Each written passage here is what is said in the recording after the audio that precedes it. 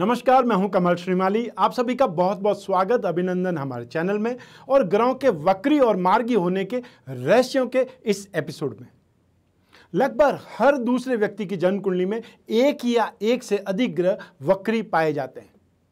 तथा ज्योतिष में रुचि रखने वाले अधिकतर लोगों के मन में यह जिज्ञासा बनी रहती है कि उनकी कुंडली में वक्री बताए जाने वाले रिट्रोगेट प्लेनेट्स ग्रहों का मतलब क्या हो सकता है।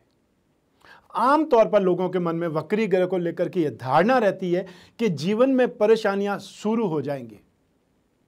लेकिन शायद आपको यह पता नहीं होगा कि कुछ ग्रहों का वक्री होना जीवन में न सिर्फ़ खुशियाँ लाता है, बल्कि व्यक्ति को फाइनेंशियली बहुत मज़बूत बना देता है और उसकी स्पिरिचुअल इंप्रूवमेंट होती है स्पिरिचुअल प्रोग्रेस होती है।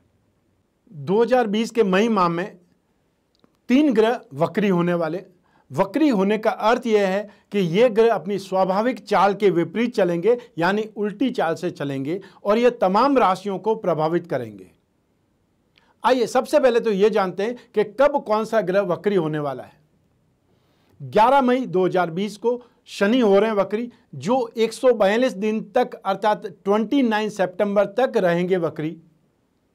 इसमें दूसरा थर्टीन मई को शुक्र हो जाएँगे वक्री जो बयालीस दिन तक, अर्थात ट्वेंटी फिफ्थ जून तक रहेंगे वक्री और अब बात करते हैं उस तीसरे ग्रह की, जो 14 मई को बृहस्पति हो जाएँगे वक्री और 121 दिन तक रहेंगे वक्री अर्थात 13 सितंबर तक बृहस्पति ग्रह वक्री रहेंगे। इसी एपिसोड में मैं आगे इन तीनों वक्री ग्रहों का क्या क्या फल मिलने वाला है, यह विश्लेषण करूँगा। तो सबसे पहले यह जान लेते हैं कि वक्री और मार्गी ग्रह हैं क्या।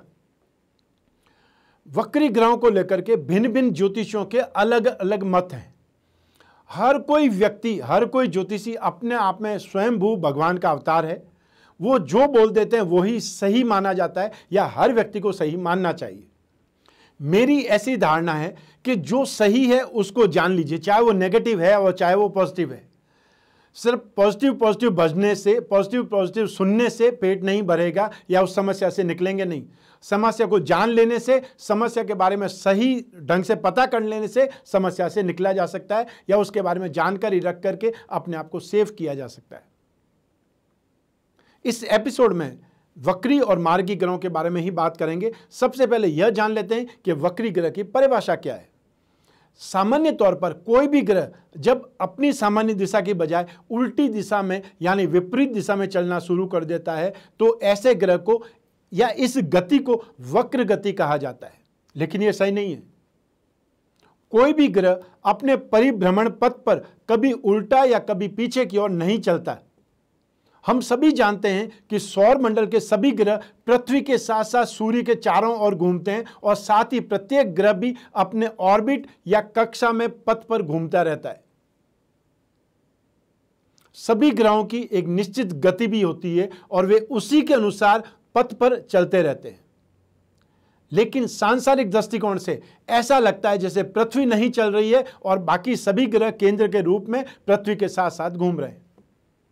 उदाहरण के तौर पर, जब हम रेलगाड़ी में बैठे हुए बाहर देखते हैं तो सारे पेड़ पौधे हमें पीछे जाते हुए, चाहे वो मकान हो, चाहे वो पेड़ पौधा हो, चाहे वो बिजली का खंभा हो, चाहे कोई मंदिर हो, सब कुछ पीछे जाते हुए नज़र आते हैं।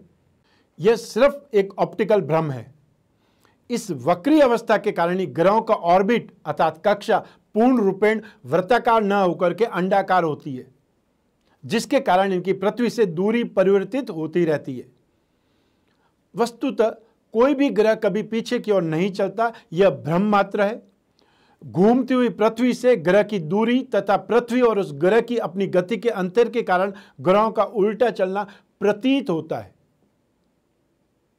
किंतु ज्योतिष शास्त्र के अनुसार जन्मकालीन समय पर ग्रहों की ऐसी उल्टी गति के कारण जीवन पर उनका प्रभाव सामान्य से अलग होता है। यह प्राकृतिक नियम है कि कोई भी ग्रह जब सूर्य या पृथ्वी के तुलनात्मक निकट आ जाता है तो उसकी गति तेज हो जाती है और जब वह दूर हो जाता है तो उसकी गति धीमी होने लगती है, धीमी हो जाती है। ज्योतिष ग्रंथों के अनुसार, जब कोई ग्रह अपनी तेज गति के कारण किसी अन्य ग्रह को पीछे छोड़ देता है तो उसे अतिचारी कहा जाता है। जब कोई ग्रह अपनी धीमी गति कारण पीछे की ओर खिसकता प्रतीत होता है तो उसे वक्री कहते हैं। और जब वह ग्रह वापस आगे बढ़ता हुआ प्रतीत होने लगता है तो उसे मार्गी कहा जाता है। कभी कभी कोई ग्रह कुछ समय के लिए स्थिर प्रतीत होता है, उसे अस्त कहा जाता है। अब उदाहरण के रूप में समझाने का मैं प्रयास करता हूँ।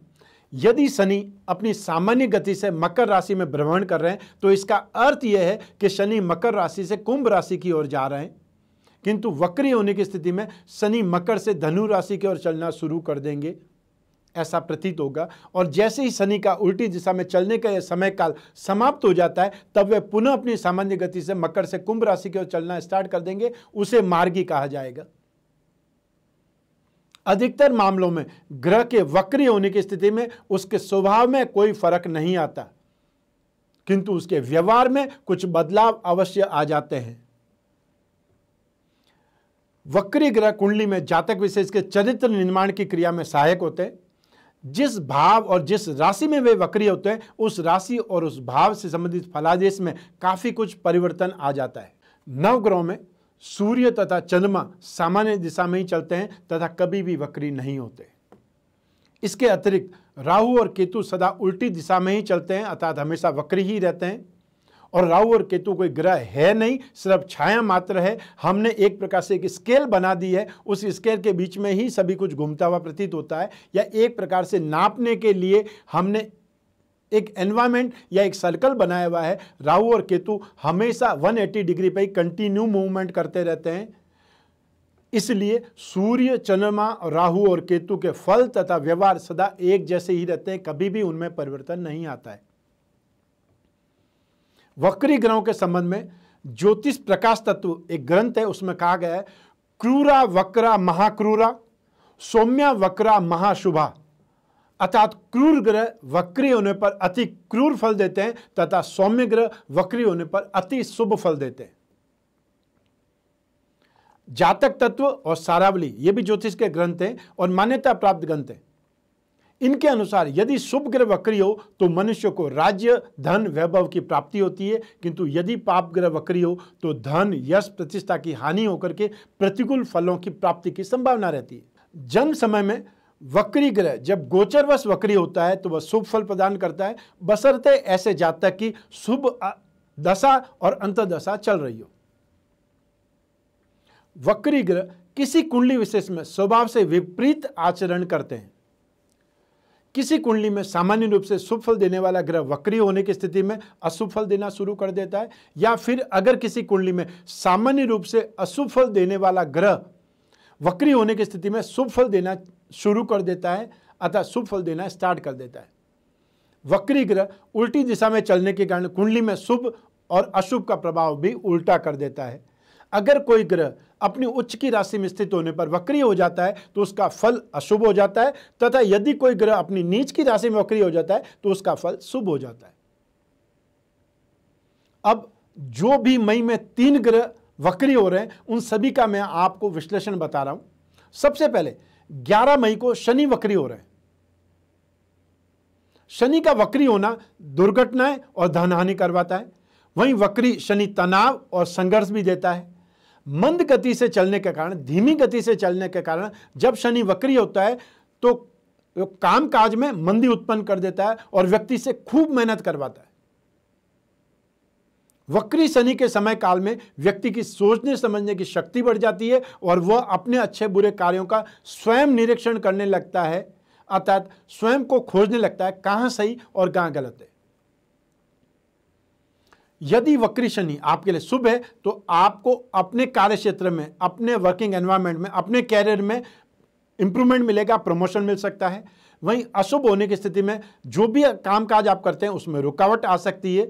आपको बॉडी पेन हो सकता है जॉइंट्स में पेन हो सकता है, नौकरी में परेशानी हो सकती है, नौकरी छूट सकती है। और इसके साथ साथ जो क्रूड ऑयल कोयला स्टील लोहे से संबंधित जो भी शेयर बाज़ार में काम करते हैं, उनके शेयरों में नुकसान हो सकता है। वक्री शनि, सिंह और धनु राशि में बहुत ज़्यादा प्रतिकूल प्रभाव देने वाले होते हैं। आइए अब जानते हैं, मई में दूसरे नंबर पर जो ग्रह वक्री हो रहे हैं, तेरह मई को शुक्र वक्री हो रहे हैं। शुक्र ग्रह का सीधा संबंध भोग और विलास से है। वक्री शुक्र का शुभ प्रभाव देश की महिलाओं और आर्थिक स्थिति पर भी पड़ेगा, जिसके कारण देश में महिलाओं की स्थिति मज़बूत हो सकती है।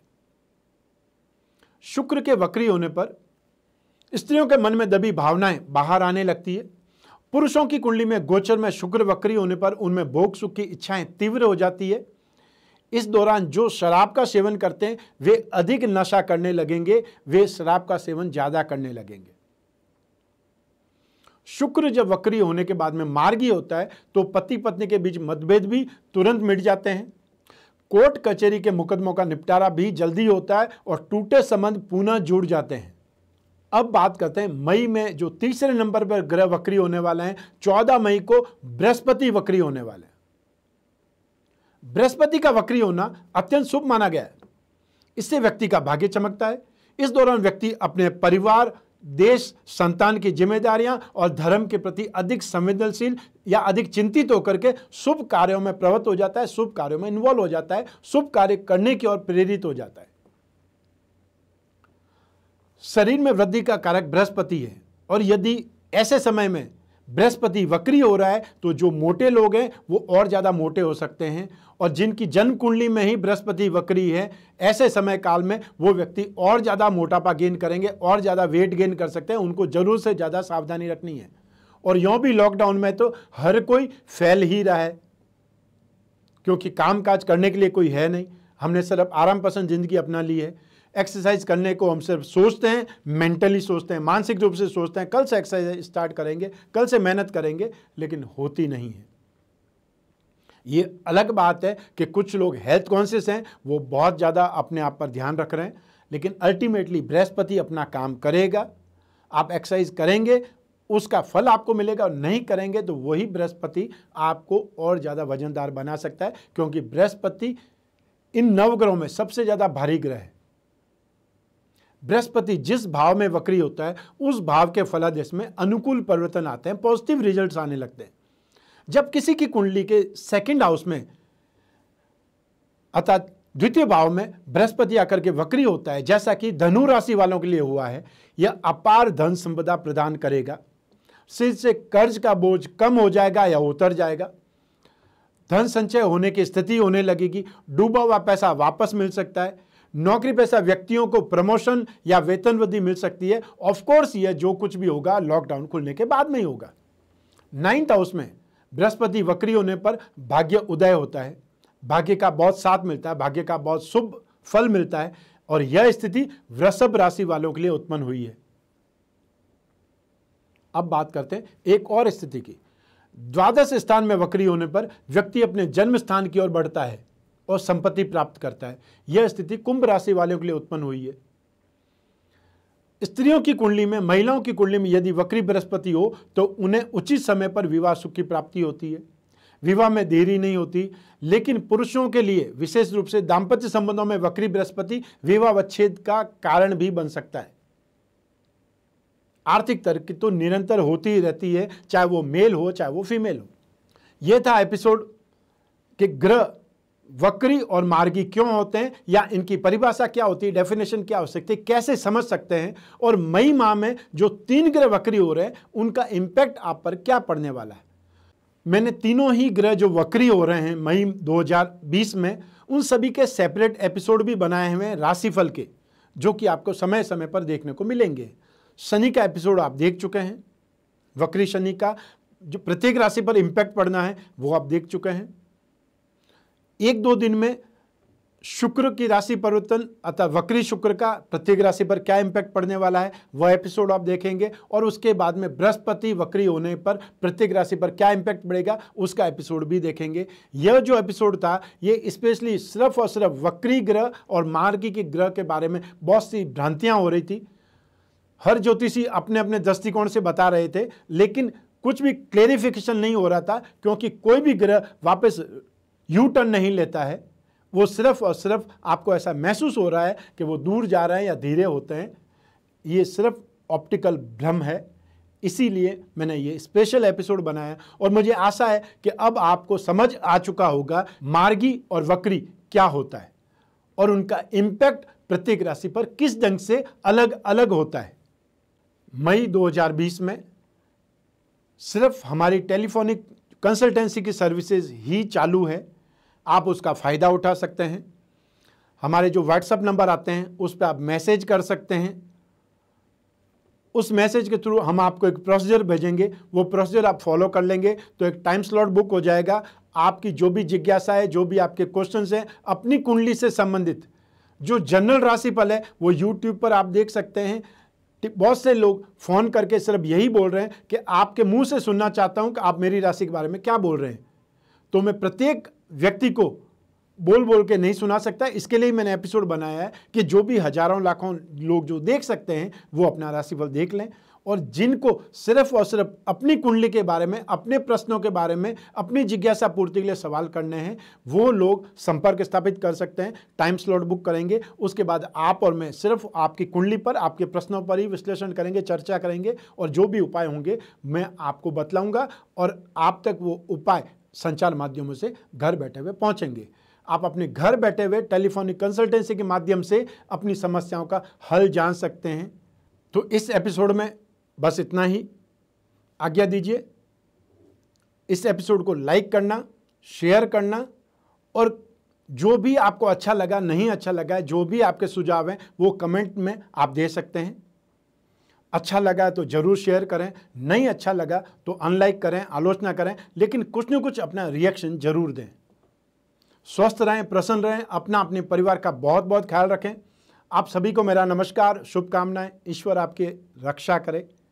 धन्यवाद।